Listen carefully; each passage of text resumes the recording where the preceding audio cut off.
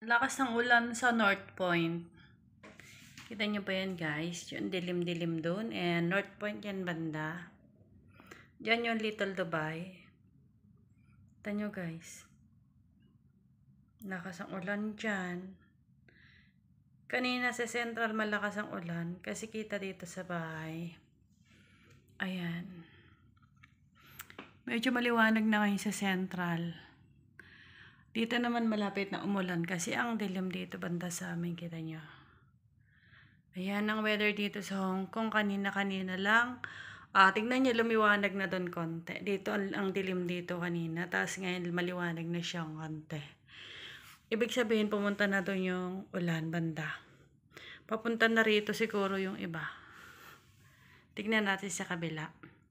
Maga pa lang dito guys, pero kita nyo, dilim na siya. Ayan.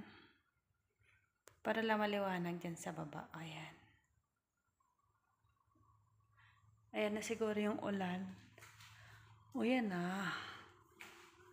Ayan. Ang dilim dito guys, ang kalangitan. Ayan. O ulan yan malakas sigurado. Tingnan yung building.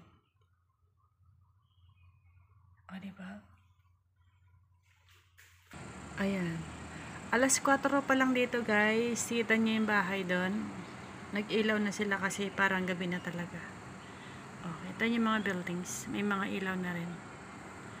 Ayan, ang dilim na dito guys. Ang favorite flower ko yan guys. Every May ko yan nakikita. Nakikita. Hindi ko alam paanong bulaklak yan kasi. Yan bulaklak na yan. Yung purple na yan. Dalawang puno yan. Meron pa doon banda.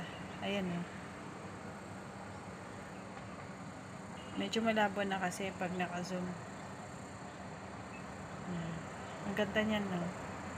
Kung nakikita nyo sa personal yung puno na yan, ang ganda. Sobrang purple kasi siya. Parang blue. Yan yung ulan. Alas 4 pala, pero parang gabi na siya, guys. I love this flower to. Kita nyo ba yung bulaklak na yan? Yung puno na yan. Uh, fire tree ang tawag nila yan dito, guys.